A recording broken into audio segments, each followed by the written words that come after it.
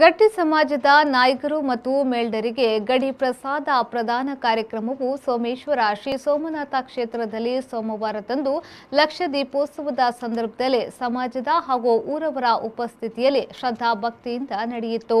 ಪ್ರಸ್ತುತ ಗಟ್ಟಿ ಸಮಾಜದ ನಾಯಕರಾಗಿ ಕಾರ್ಯನಿರ್ವಹಿಸುತ್ತಿರುವ ಹರಿಶ್ಚಂದ್ರ ಗಟ್ಟಿ, ಬೊಂಬಾಯಿ ಮನೆ ಹಾಗೂ ಮೇಲ್ಡರಾಗಿ ಕಾರ್ಯನಿರ್ವಹಿಸುತ್ತಿರುವ ಯಾದವ್ ಗಟ್ಟಿ ಪಿಲಾರ್ ಅವರಿಗೆ ಗಡಿ ಪ್ರಸಾದವನ್ನು ಪ್ರದಾನ ಮಾಡಲಾಯಿತು.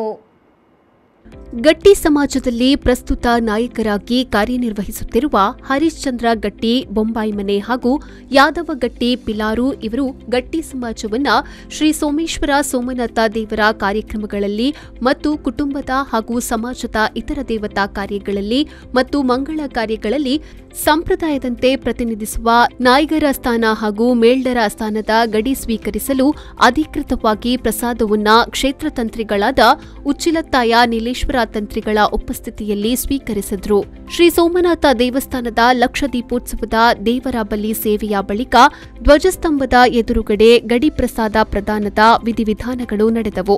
ದೇವಸ್ಥಾನದ ಹಾಗೂ ಸಮಾಜದ ಸೇವೆಯನ್ನ ಕಾಯ ವಾಚ ಮನಸ್ಸ ನಿಷ್ಠೆಯಿಂದ ಮಾಡುತ್ತೇವೆ ಎಂಬ ಸಂಕಲ್ಪದೊಂದಿಗೆ ನಾಯ್ಗರು ಹಾಗೂ ಮೇಲ್ಡರು ಗಡಿ ಪ್ರಸಾದವನ್ನ ಸ್ವೀಕರಿಸಿದ್ರು.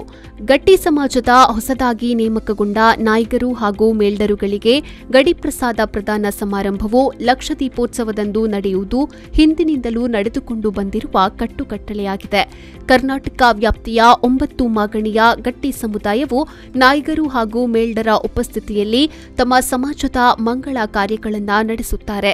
ಶ್ರೀ ಸೋಮನಾಥನನ್ನ ತಮ್ಮ ಕುಲಸ್ವಾಮಿ ಎಂದು ಆರಾಧಿಸುವ ಗಟ್ಟಿ ಸಮುದಾಯಕ್ಕೆ ಸೋಮನಾಥ ದೇವಸ್ಥಾನದ ಜಾತ್ರೆ, ಉತ್ಸವ ಕಾರ್ಯಗಳಲ್ಲಿ ಗಟ್ಟಿ ಸಮಾಜದ ಪ್ರತಿನಿಧಿಗಳಾಗಿ ನಾಯ್ಗರು ಹಾಗೂ ಮೇಲ್ಡರು ಅಗ್ರಪಂಕ್ತಿಯಲ್ಲಿ ನಿಲ್ಲುವ ಸ್ಥಾನಮಾನವನ್ನ ಪಡೆದದ್ದು, ಅರ್ಚಕ ವರ್ಗದ ಬಳಿಕದ ಪ್ರಥಮ ಪ್ರಸಾದವನ್ನ ಸ್ವೀಕರಿಸುವ ಗೌರವ ಕೂಡ ನಾಯ್ಗರು ಹಾಗೂ ಮೇಲ್ಡರಿಗೆ ಸಂದಾಯವಾಗುತ್ತದೆ.